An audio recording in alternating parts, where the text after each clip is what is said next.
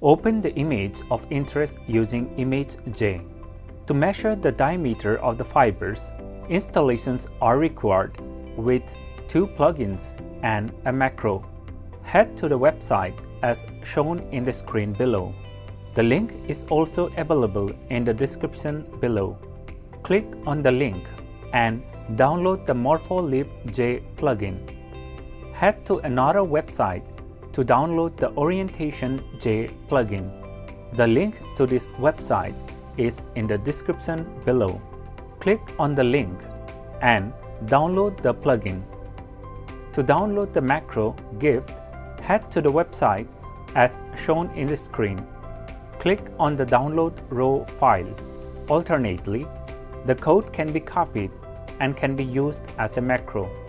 The link to the macro license is also available in the description below. For more information on this macro, please visit the article that is published in the PLOS ONE journal. Now, let us install the downloaded plugins and the macro. To install the plugins, head to Plugins, Install, select MorphoLib J and open. Save the plugins in the Plugins folder. Similarly, install the Orientation J plugin. To install the macro, click on Plugins, Macro, Install, select the GIFT macro and open. Upon successful installation of the macro, an icon appears in the Image J toolbar window. To measure the diameter of the fibers, click on the icon. To analyze a single file, click on Process Single Open Image. The next step is to set the parameters, degrees of rotation,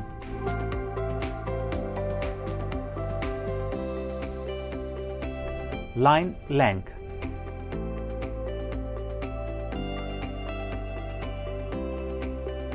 threshold value,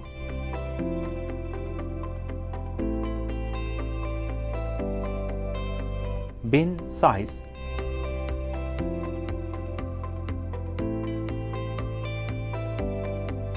scaling.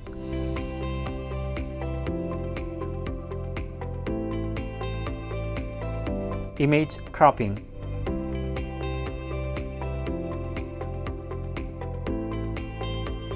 Fiber orientation measurement.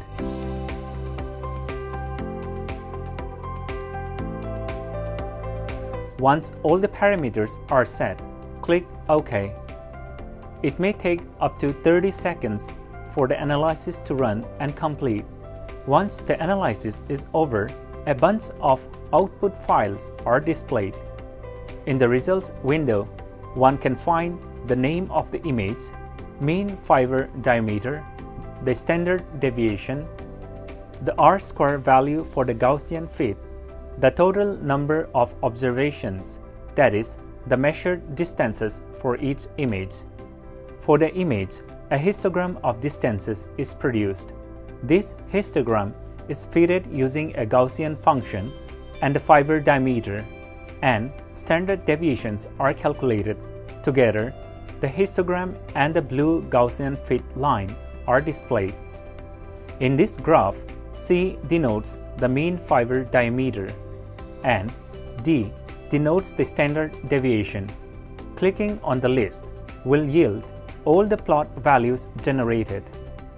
Click on Data and save data to save the values in a .csv format.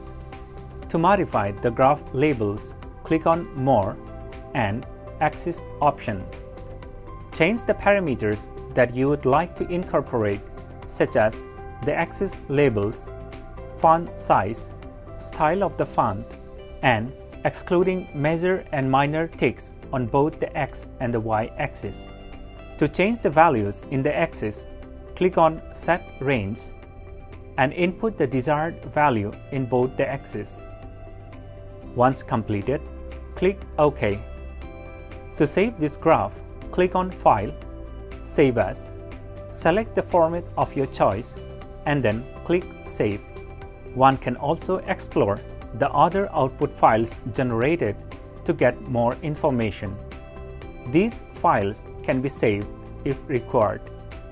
To measure the fiber diameter of only a selected portion in the image, click on any of the selection tools from the Image J toolbar and mark the region of interest. Now, click on the GIFT icon and click Process Single Open Image. Set the parameters accordingly and click OK. Once the analysis is completed, the graph and the other output files can be analyzed. Thanks for watching.